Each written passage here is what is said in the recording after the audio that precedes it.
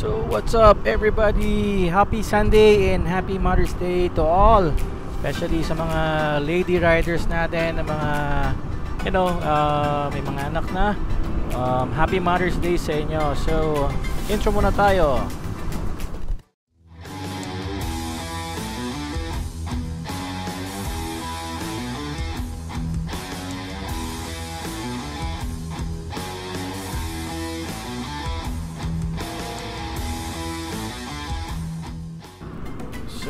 Guys, uh, again uh, happy Sunday to everybody. Medyo hapon na no, mga I guess it's around 4 o'clock ng hapon. So we are heading to Antipolo and see one of our friend Bob who's riding a classic as well. So ito yung inspiration natin. Um, also, uh, ito na po yung jersey natin. Uh, First Moto Group Philippines powered by Alca Viva. Grace uh, USA Technology and Bright Lights Media Production. So, yan. So, uh, right now, uh, meet natin si, uh, si Mob sa Marcos Highway, Petron.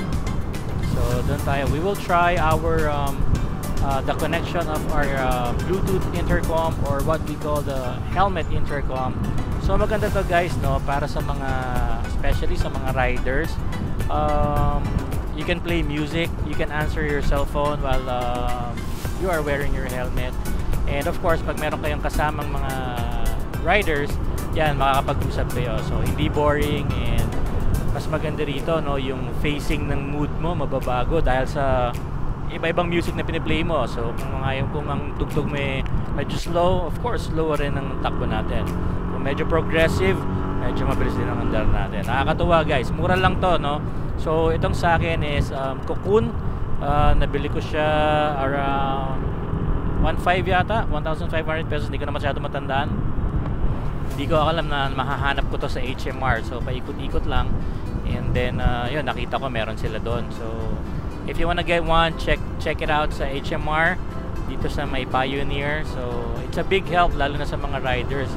Especially guys sa ano sa call this uh, especially sa mga delivery careers like yung mga Lala Move yung mga uh, Food Panda Grab kasi nakikita natin madalas yan habang umaandar.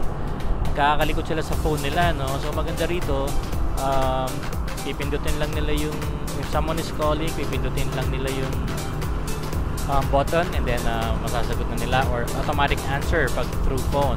Minsan pag uh, tumatawag sa or maririnig mo pa rin kung may mga messages and that's the time na pwede kang tumabi and then tignan mo yung uh, yung messages mo. Rather than umaandar kayo tsaka kayo mag uh, mag cellphone sa daan madalas nakikita ko pa nga nakatutok yung mga bibig nila sa cellphone na nakakatawa um, yung helmet nila naka half lang sa ulo and then minsan nakaipit pa yung mga cellphone kung malaglag aksidente kung uh, nangangalikot ng cellphone, aksidente rin yan. So, iwasan natin yan, guys. Uh, about 1,500 pesos, meron ka ng ganito. Uh, Bluetooth helmet intercom. Iba-ibang brand yan. So, may, may Sena, yung Cardo, meron din uh, Jabber or Jabre, mga medyo high-end na, but na sa akin, medyo mamurahin lang. Nakachamba tayo. And the good thing about this is, kumokonect ito sa ano, sa sa iba-ibang brand. So nasubukan man na nasubukan na namin to apat kami um, riding uh, sa malayo, malalayo rin distance. So nakakapag-usap kami. Yun nga lang dito sa amin sa iba-ibang brand uh, one at a time ang usap, hindi sabay-sabay kagaya ng mga high-end ngayon. So yan, titest natin, interviewin natin si Bob. Later, wala tayong magawa, tignan natin uh, kung uh, makakapag-usap kami at mare-record natin via Bluetooth itong uh, ating ano um, um, conversation later. So ito na malapit na tayo sa ano sa Petron. Yan, sarap ng hangin, medyo malamig-lamig ngayon. Woo! Alright, malapit na. So maganda pala yung kulay ng jersey, medyo vibrant ang color. So, ayan, pagas muna ako. Ano tayong gas. Alright.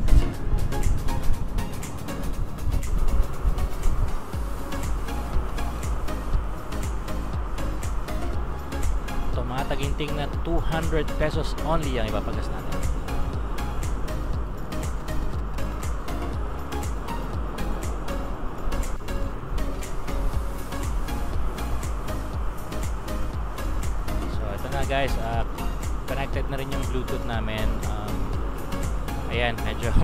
Try, no? So, yan. ah, ayan si Bob. Sige, mag-usap naman ta tayo niyan maya-maya.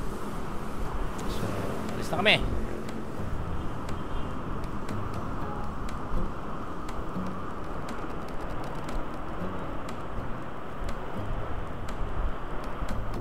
Okay Bob, magpakilala ka muna. What's your name? I'm Bob. Bob, anong ano ang iyong ginagawa? Ngayon, ah, may business. Business. Ah, meron ka bang grupo? Wala akong grupo. Pero marami akong group sa Facebook lang. Okay, so naririnig mo ba ako na maayos? oh, maayos ang ah, boses. So ito guys ha, ni-record namin to gamit ang ano namin. Ano yung brand nung ano mo, intercom mo? Sena. Sena, sa akin Cocoon. Ano lang, uh, mamaray na pag-connect namin. So, tingnan natin kubra tong interview na to. So, medyo malayo yung distance, you know, mga One meter. Hindi Social naman. distancing. Gagi yan, layo mo, tinan mo. Pero yung sa Cocoon guys, ano lang yan, 500, kila, ah, 500 meter. Yung Sena, gano'ng katagal yung distance niya, gano'ng kalayo? Ang ah, ano niya, mga 1 kilometer ata. Pero hindi, hindi... Pero naririnig mo ako. Naririnig, oh, maayos. Ayos, alright. Okay, nakikita naman kita sa camera. Saglit lang ah. Ah. Pero naririnig mo ako, malinaw. Oh, malinaw. Parang ah, katabi lang eh. Oh, di ayos. Okay. So, sige, continue tayo, no. Ah, Bob, ano yung motor na gamit mo ngayon? Ano, Rusi 250 Classic. Rossi 250. Ano ang unang bike mo? Ang unang bike ko, Kimco Light. Kimco Like. So, bakit ka nag-shift sa Classic? Rossi Classic. Ah, mahilig talaga ako sa classic eh. Sinubukan ko mag-manual. Kaya Rusi ang ah, napili ko. So, ma- anong mas prefer mo? Ah, ano ba to? Scooter o manual? Depende sa gamit eh. Depende sa gamit. Pag Sabagay. ah, tinatamad, scooter ang dala ko. Kaya lang yung scooter mo malaki, mabigat yun eh. Oh, mabigat nga lang pagka ano, hindi pwede pang city. Okay, so bakit ka nag madalas nag uh, nagra-ride ng motorcycle? Ah, pangpaalis lang ng ah, pagod. Pagka gusto kong mag-ikot sa city, anong ginagawa ko, papahangin lang. Pero yung motor mo na yan, ginagamit mo yan. Kunyari, may mga lalakarin kang papeles at kung ano-ano. Oo, pagka medyo matraffic, ayun ang ginagamit ko. Mabilis ako makapunta sa mga pinupuntahan ko, tsaka makabalik. So nakakapagpahinga pa ako pag uwi. At saka, ano, matipid ba yun sa gas? Oo, matipid. Ang yung Rusi, nakakatuwa gamitin dahil umaabot ng mga 35 kilometers per liter yan. So, nung, ano, nung panahon ng pandemic, ito nga, yung pandemic pa rin tayo, ano yung madalas na ginagamit mo? Kotse o motor? Ah, pinapalit-palit ko lang pero mas masarap magmotor pagka pandemic dahil walang traffic. Oo nga, eh, kahit ako nagmumotor na lang. eh, Oo, pero, mas ah, enjoy. Mas enjoy ang ah, pag-ride.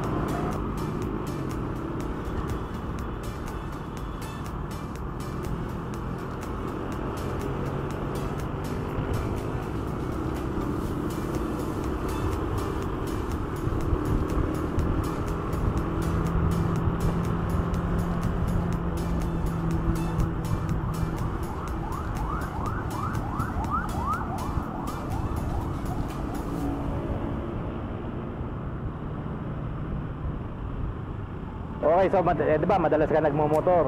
Narinig mo ba ako? Medyo parang nawawala. Ah, Hindi naman, okay lang. Ah, malinaw? Okay lang. Okay, so, so since madalas ka magmotor, ano ang mga safety na pwede mong advice sa mga dito? Ito, kagaya niya, yung mga katabi natin nagmumotor. Ang ma-advise ko lang yung mga nagmumotor, sana sumunod lang lahat ng mga rules sa kalye. Eh, lalong-lalo na yung iba kasi galing sa ano naman, walang training. So kailangan ma- matutunan din nila yung tamang pagmumotor. Lalong-lalo na daming na-aksidente kaya dahil ah, wala silang tamang ah, rules ng uh, pag-ride ng motor. Mas maganda may seminar sila. O, tama yan. Kasi kahit ako, search ako ng search sa mga rules and regulation para sigurado tayo pag nagmumotor tayo. So, ano ba yun? Um, yung kagaya, kagaya natin, naka-helmet intercom tayo ngayon, ginagamit natin. Tagabal ba siya pag nagmamaneho ka ng motor? Hindi, mas ah, tingin ko mas safe to kaysa may marami kasi nakikita. Nagse-cellphone, nakaipit yung cellphone sa helmet, eh, delikado yun. Nakakita rin ako. So, eh, safe na safe to, kaya inimbento to. yung inaangat yung helmet kalahati. Oo. Iipid yung ano, yung Iniipit cellphone. yung cellphone. So, delikado po yun. Eh, pagsagot pa lang, eh, mahirap na. so, ito, bali itong ano, yung, eh, yung sa akin ha, yung intercom ko na to, pwedeng mag-music, tapos pagtatawag through cellphone, automatic answer. Oo, yung ganun nga yung features ng, ano, ng mga intercom sa ano, helmet. And then tayo, ayan, kagayan, pinipindot ko para ma makausap kita. Oo, yan, yan, yan, yan nga maririnig mo. Tsaka may volume naman siya. Ah, kung depende sa ingay ng ah, surrounding, may volume siya, hindi yung ah, katulad ng pag nakaimit, nakaipit yung cellphone, hindi mo na mabo-volume yun. Okay, guys, well actually, itong motor nito na kaya itong Rusi Classic niya, Classic 250, yan yung inspiration ko kaya rin ako nagbumili ng Classic. Kasi dati, ang gamit ko, medyo classic motorcycle din, ito yung picture, tapos 150cc lang. Kaya lang, pag umalis kami, parang lagi ako nangungulelat.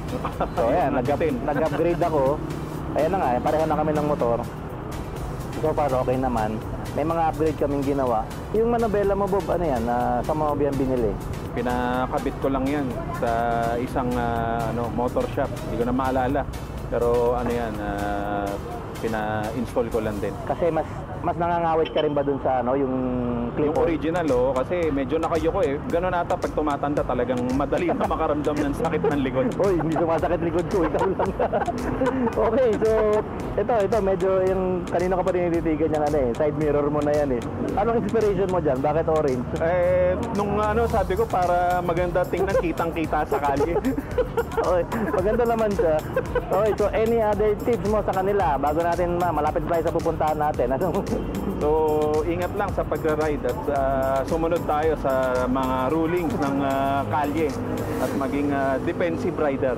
Meron ka bang mga ano, tawag doon, ah, shower out? shower out? Wala, wala. Wala. Sige. Okay, ride safe. Kala mo, hindi tayo magkasama. Pero yan, guys, pupunta kami Antipolo. So, malapit na kami lumiko. And then tuloy natin mamaya, bibili kami ng ah, kasoy. Bili ni Mrs. Okay, see you. Alright, bye-bye. Salamat. Mamaya ulit. So, ayun na nga, no? Yan, na-interview natin si Bob. Parang may loko-loko, nakakatawa. Pero masaya, guys. So, again, itong ganitong murang setup, uh, pwede kayo mag-usap ng inyong mga buddy rider katulad namin. Okay, so, ito na. Suman at Kasoy.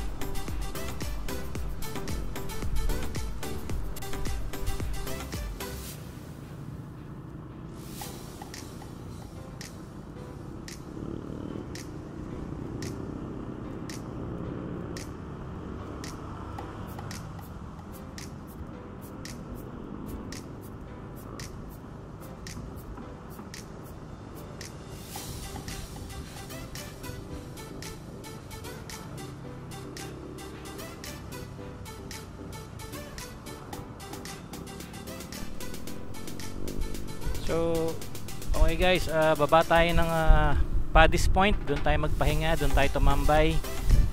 Ah, kwentuhan. Medyo bagong renovate. Check out natin yung lugar nila. Ah, masaya yan. Ah, dating tambayan namin high school. Mga takas boys. Gamit ng mga kanya-kanyang kotse. I think hindi pa, pa hindi, wala pang ganyan dati eh. Ang tawag pa yata Eagle's Nest. So marami yan, mga tabi-tabing mga tindahan na may mga table doon ang kainan. Alright, malapit na kami. So sige nga, montage nga natin tong mga motor namin. Tignan natin kung anong itsura ng Rusi Classic. In 3, 2, 1, go!